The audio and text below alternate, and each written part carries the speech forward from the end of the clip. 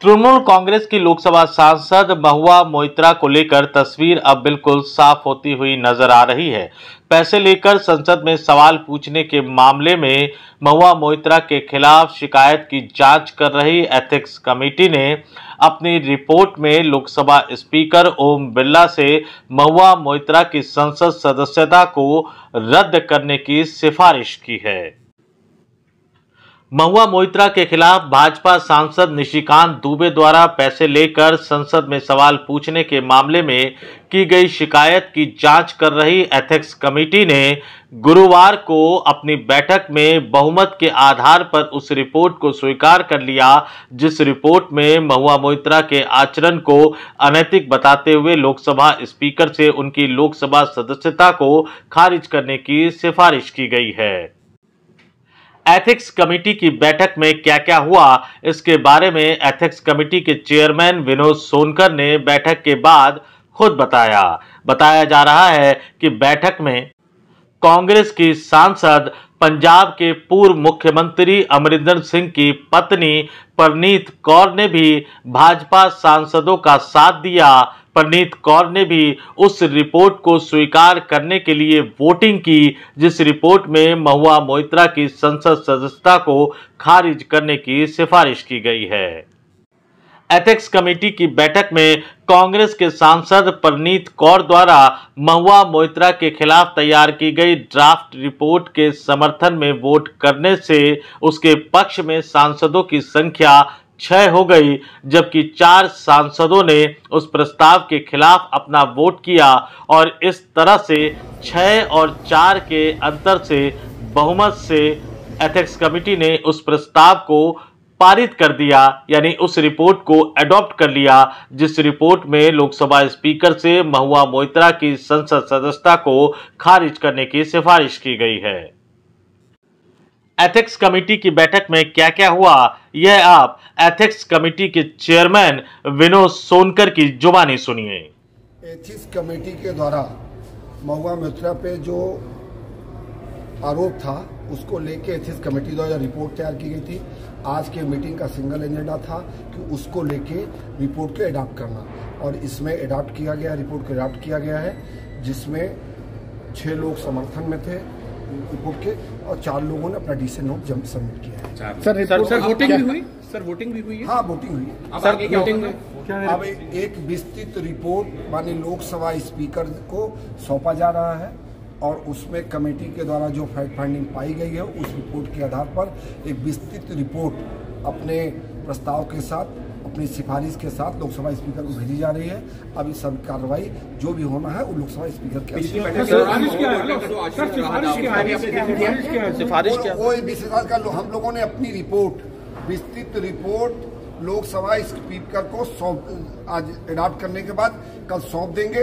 उसके बाद जो भी कार्रवाई सिफारिश तो क्या है सर सिफारिश वही है, क्योंकि पार्लियामेंट में जब तक वो प्रेजेंट नहीं हो जाएगी तब तक वो एक एक मिनट राकेश राकेश राकेश देखिए कमेटी ने कमेटी के सभी सदस्यों ने चाहे निशिकांत जी के द्वारा जो आरोप था या हीरा नंदानी जी के द्वारा जो एफिडेविट था या अधिवक्ता वकील साहब जो है दयादरी के द्वारा।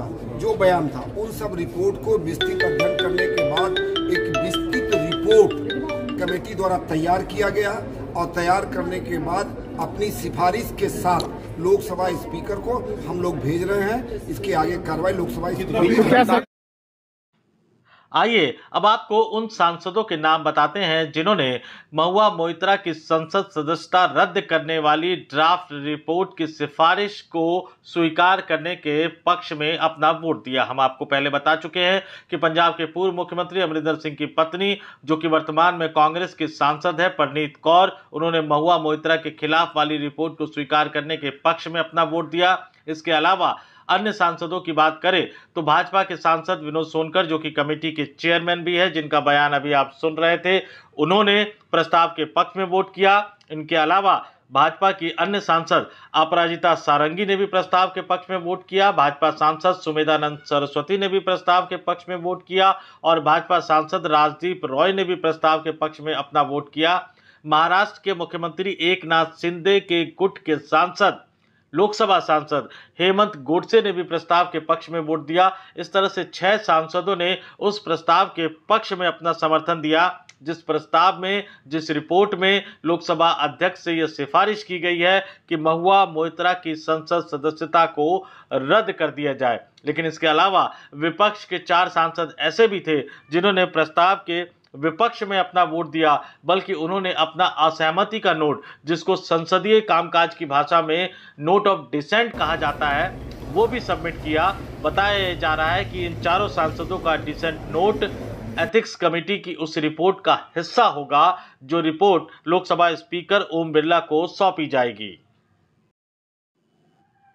बहुजन समाज पार्टी के सांसद दानिश अली, जनता दल यूनाइटेड के लोकसभा सांसद गिरधारी यादव के अलावा कांग्रेस के सांसद वैथिलिंगम वे और सीपीएम के सांसद पी आर नटराजन ने एथिक्स कमेटी की बैठक में महुआ मोहित्रा का समर्थन करते हुए उस रिपोर्ट का विरोध किया, जिस रिपोर्ट में महुआ मोहित्रा की संसद सदस्यता को, लोकसभा सदस्यता को खारिज करने की बात कही गई थी। लेकिन चूँकि एथिक्स कमेटी की बैठक में इस रिपोर्ट को स्वीकार करने को लेकर गहरे मतभेद थे, इसलिए फैसले के लिए वोटिंग करना पड़ा और ये चार सांसद बहुमत के आगे कम पड़ गए और छः और चार के बहुमत से एथिक्स कमेटी ने महुआ मोइत्रा के खिलाफ रिपोर्ट को स्वीकार कर लिया है, जिसे बकौल ethics committee chairman Vinod Sonkar कल लोकसभा अध्यक्ष ओम बिरला को सौंपा जाएगा। और अगर लोकसभा स्पीकर इस रिपोर्ट को सदन के पटल पर रखते हैं तो बहुमत के आधार पर लोकसभा यह फैसला करेगी कि महुआ मोइत्रा संसद की सदस्य बने रहने लायक है या नहीं, और लोकसभा बहुमत से अगर एथिक्स कमेटी के प्रस्ताव को स्वीकार कर लेती है तो महुआ मोइत्रा की लोकसभा सदस्यता खारिज हो जाएगी। महुआ मोइत्रा लोकसभा की सांसद नहीं रहेंगी।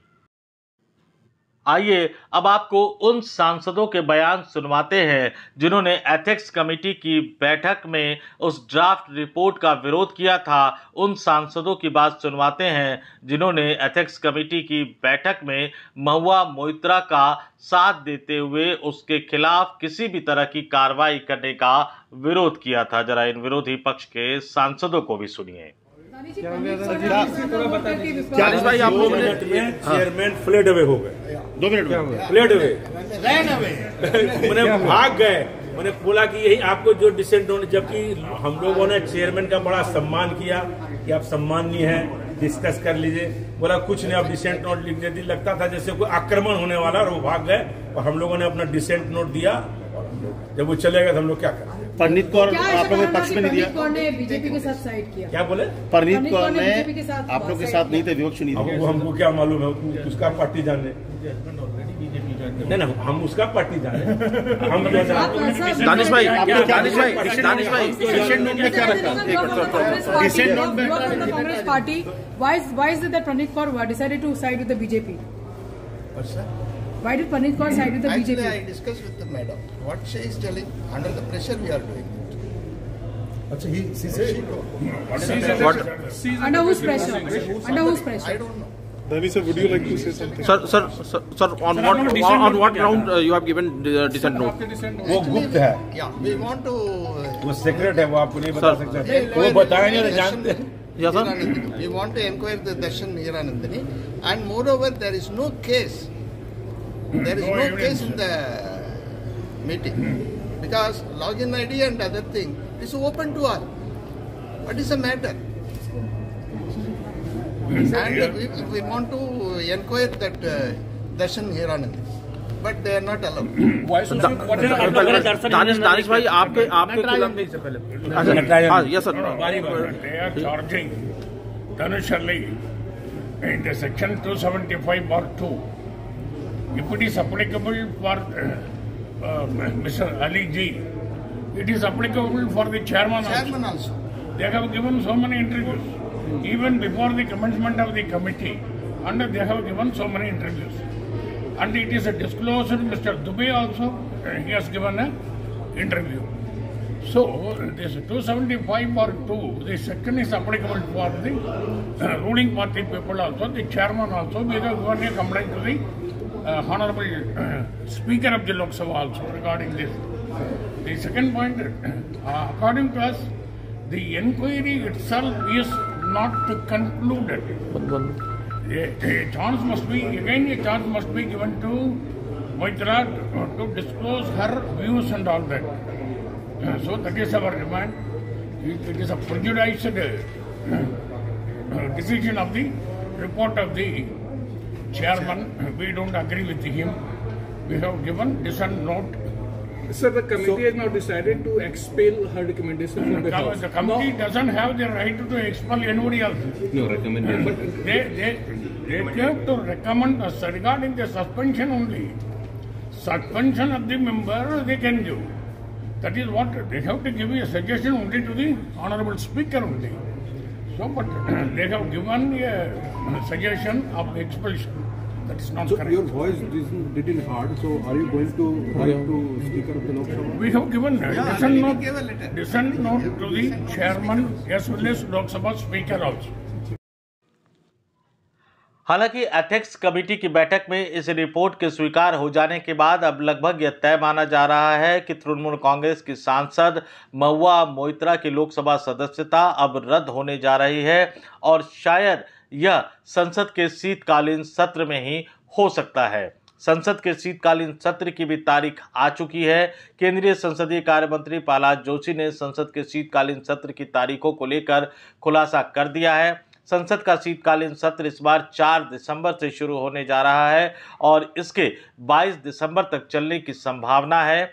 सूत्रों की माने तो लोकसभा की कार्रवाई के पहले या दूसरे दिन, यानी चार या पाँच दिसंबर को ही एथिक्स कमेटी की रिपोर्ट को लोकसभा में पेश किया जा सकता है और इसके बाद लोकसभा स्पीकर ओम बिरला लोकसभा की राय लेंगे कि एथिक्स कमेटी की इस रिपोर्ट को स्वीकार किया जाए या ना किया जाए।